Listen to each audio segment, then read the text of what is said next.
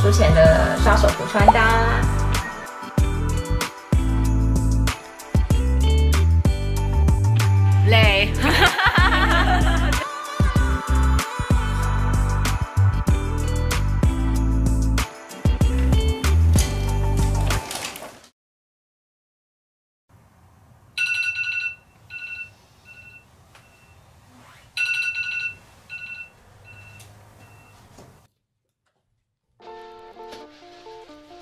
我是李嘉玲医师，是一名麻醉专科医师。那之前曾经在马偕医院任职了两年的主治医师之后才离职，大概在六年多以前呢，就全职在外面不同的诊所跑麻醉的工作。那目前就是一个派遣的女麻医。那现在呢，离开医院朝九晚五的稳定工作之后呢，日子其实是更加忙碌的，但却也是可以得到加倍的快乐跟成就感。那因为很享受现在的忙碌的生活，所以想记录一下自己现在工作的样貌。大家就跟着我一起过这一天吧。这个衣橱呢，是我平常会放刷手服跟刷手帽的地方。之前 po 文有跟大家分享，我自己定做了很多不同颜色的刷手服，然后他们就会分别折在。呃，这个柜子里面还有我的刷手帽的收藏，我的 collection，所以其实我蛮多顶的这样子。早上的时候呢，我会随着心情就看自己心情，今天想要穿什么颜色的刷手服这样。然后如果天气比较冷的时候，有时候不太会想要穿太淡的颜色的刷手服，自己这样觉得好。然后呢，就是今天我觉得很想要穿的是。呃，粉紫色，然后我还是会自己在呃搭配跟它比较搭的呃刷手帽这样子。既然它是淡色系的，所以我就不太会挑深色的帽子，我就会跟它搭比较淡一点的帽子来去搭配，这样会看起来比较好看。每一天毕竟要穿刷手服的时间会比较久，所以呢，就是我还蛮重视自己每一天在开房里面也要穿的啊，相对就是颜色搭配啊或者是什么都要搭得起来的衣服这样。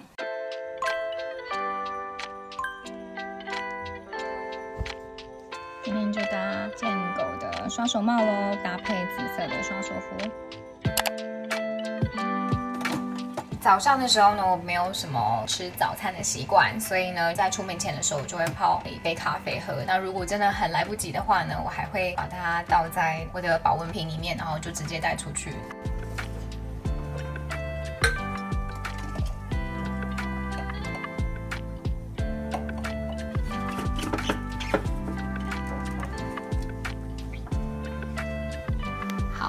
跟大家介绍一下，我出门的时候会带什么东西。就是刚刚有选好了紫色刷手服跟健狗的刷手帽，我就放在这个大的夹链袋里面。所以我就会拿一个比较相对大的购物袋，然后把这些东西放进去。然后呢，其他的我会放的就是我的化妆包。然后这个里面是我的充电器、行动电源，还有一些不同诊所需要用的识别证跟医师的执照，就会放在这个小包包里面。然后，呃，手术过程，呃，一整天，有时候，呃，可能正餐没有办法好好吃，所以呢，我自己随身都会携带一个小零食包，就是里面会放一些，啊，小糖果啊，小饼干啊，或者是燕麦片啊，或者是茶包这样子，可以随时补充，就放在这里面。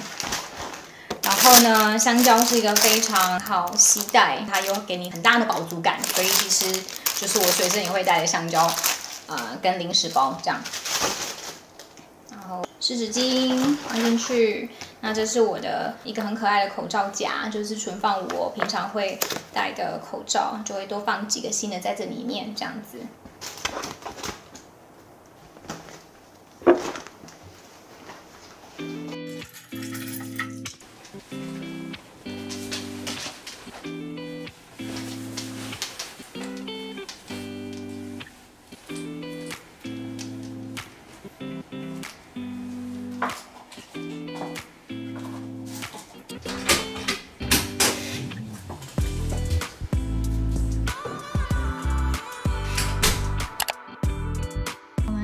但要去呃健检中心嘛，无痛肠胃镜。通常的话呢，健检中心大概就是八点半会开始。可是因为疫情的关系，自从解封之后呢，就是呃诊所就会帮每个健检的客人去做快筛，所以快筛要是阴性的话呢，才可以再进来做后续的健康检查的项目。会有点 delay，所以九点才会开始。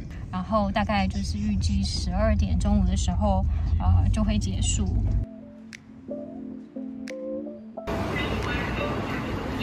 Hello，早安。早。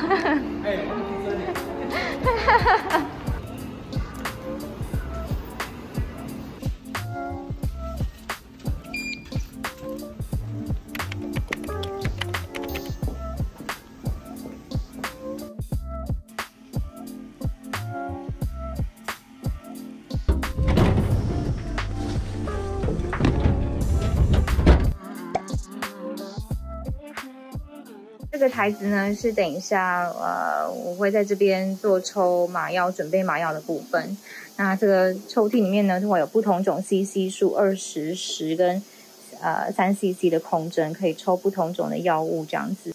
今天的健检呢有九台呃无痛的肠胃镜，所以我在这边先准备备的麻药。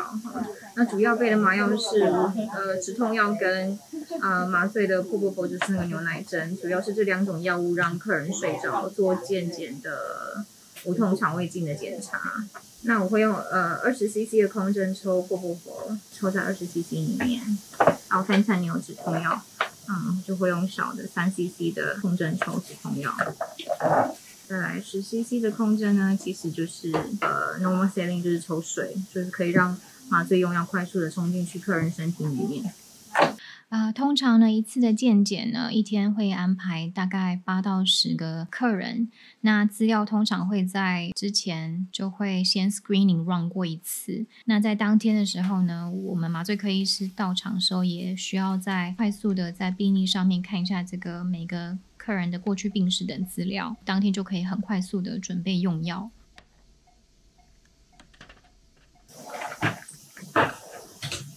我是麻醉科医师，你好，我们慢慢先帮你做准备哦。好，你的针打在右手嘛，好，谢谢。一直帮你做上氧气，然后做出来血压。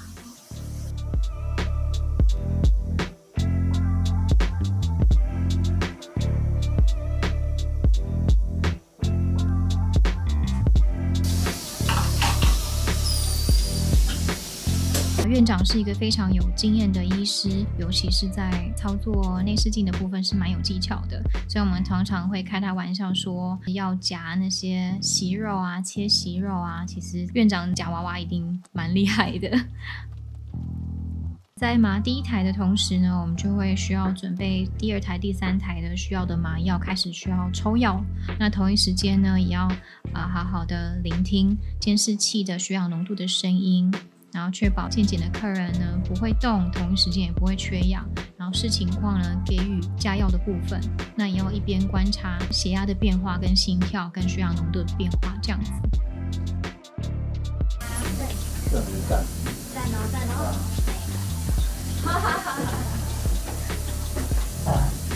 如果要尿尿啊、喝水啊，就是从台数跟台数中间出去的时候，要接下一个客人的时候，我们就会说，那么有一个有有一个人可能会想说要尿尿的话，就会说我们快速去尿尿或者喝个水，然后再回来再接下一个客人这样，所以不会在中间的时候做检查的时候啊、停止，然后大家去喝水、尿尿这样子。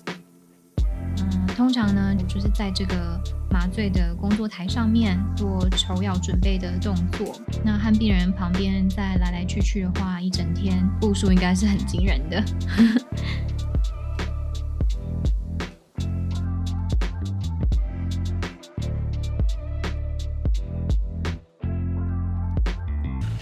好了，健检终于结束喽！结束后的所有的 total 的麻药都要跟护士对好，然后才可以把空瓶丢掉。院长辛苦啦！耶！这里是健检诊所的恢复室，稍微跟大家在这里解释一下，今天的时间比较久，因为刚好遇到一个健检的客人，嗯，他呃有一个比较大的息肉需要做切除的动作，所以呢，除了麻醉时间比较久，麻醉用的剂量比较多以外，呃，同一时间也要配合肠胃科医师给一些呃抑制肠蠕动的药物。呃，好让他方便在切息肉的过程是比较顺利的，好，所以今天呃算是有一点累的一个早上。那现在已经中午了，所以我接下来要去坐计程车赶场喽。今天辛苦大家，有一个巨大息肉要切，其实有一点累。好啦，谢谢大家辛苦了，拜拜啦！我要赶场去坐计程车了，拜拜。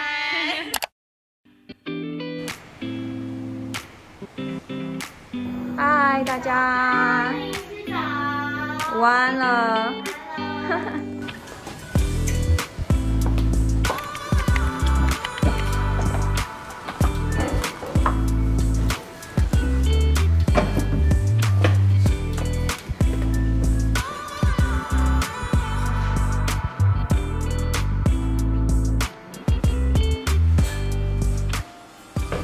就是呃元修室跟更衣室。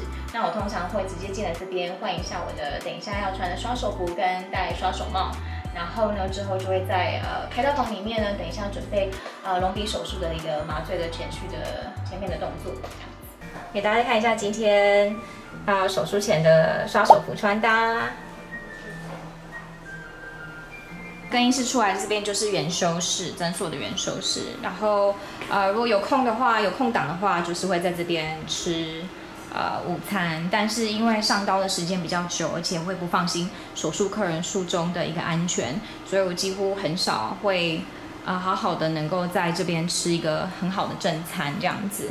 那这边是我的柜子，那平常呢会放我几套的一个其他的一些双手服务，然后呢因为比较没有办法吃正餐，有时候呢时间会比较赶，所以呢这边也会有放一些零食，这就是我的柜子。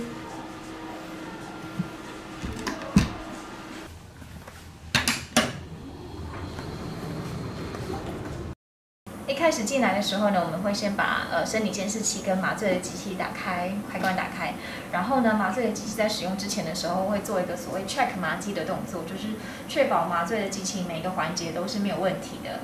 那这个全程呢需要花几分钟的时间，所以呢，呃。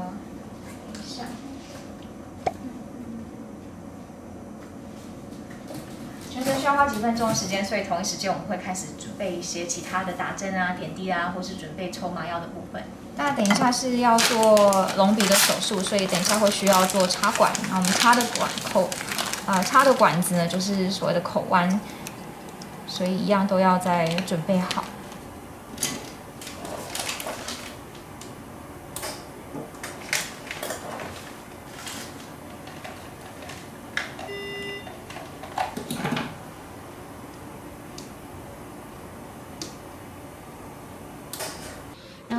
在麻醉机器底下呢的抽屉呢，会是呃放着除了麻醉药物以外，麻醉科医师会用的相关用药，例如说降低口水的用药、类固醇、抗生素等等，或者是呃手术结束完之后肌肉松弛剂的拮抗用药，然后呢就是呃止血用药都会在这边。那升压药、降压药呢会在。更后面的地方，以备不时之需。那我们在准备的过程呢，我等一下要准备麻醉的时候，我会用的相关用药，我就会先拿起来，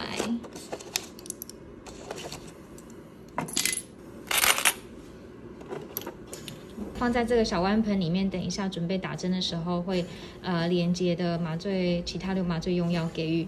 呃，手术的客人现在呢，就是手术的客人在外面等候室等候，然后同一时间我在这边备呃麻醉的一些用药跟点滴线这样子。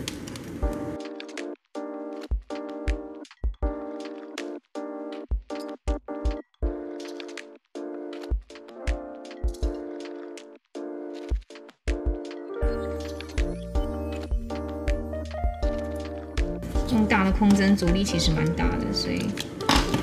是会抽到手很酸，跟手掌茧。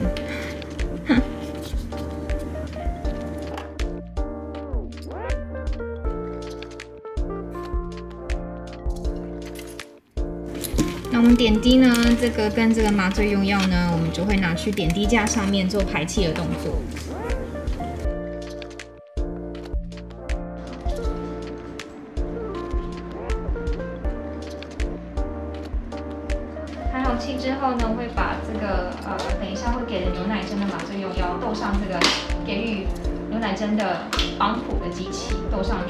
一样会再接在管路线上。好，那点滴线这边就备好了。呃，现在呢还有一点呃等候的时间，因为手术的客人还有一些问题想要咨询啊、手术的医生，所以呢在还没麻醉前的时候呢，也可以跟大家分享一下等一下要麻醉的手术。那隆鼻是一个比较精雕的一个术式，这样子，所以时间呢可长可短。呃，快的话呢，可能比如说大概三四个小时、四五个小时就可以结束了。那比较久的话，比较不好做，或是要不好开的话呢，那可能就要八九十个小时，啊、跑不掉这样子。所以通常我自己呢，在接隆鼻手术的时候，后面几乎也不会再接其他的刀，私事啊、聚餐啊，也比较不会排在隆鼻手术之后。我通常手术完之后，我就自己回家。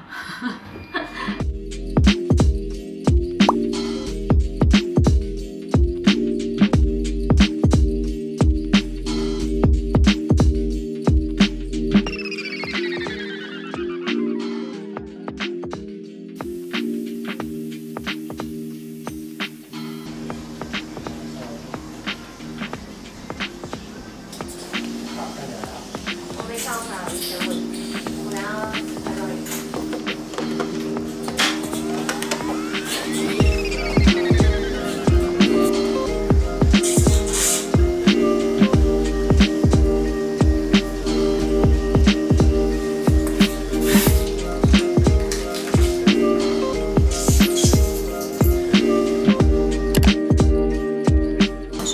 结束了。手术如果不太好看的话，甚至一个隆鼻手术可能也会到八九十点左右这样子。所以今天算是还好的状态。所以等一下吃完晚餐。